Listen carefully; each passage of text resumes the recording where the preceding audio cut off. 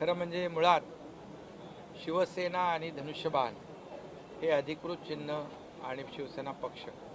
निवडणूक आयोगाने त्याचा निर्णय आमच्या बाजूने घेतलेला आहे.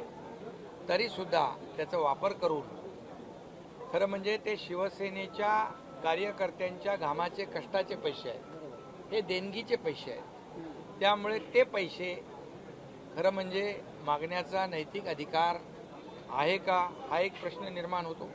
परंतु आमच्याकडे पत्र दिल्यानंतर मी यापूर्वीच जाहीर केलं होतं की जेव्हा असा प्रश्न निर्माण झाला होता की आम्ही शिवसेनेची संपत्ती शिवसेनेची प्रॉपर्टी आणखी काही काही याच्यावर दावा करू त्यावेळेस मी सांगितलं होतं की कुठलीही प्रॉपर्टी कुठलीही संपत्ती यावर आम्ही कधीही आक्षेप दावा करणार नाही.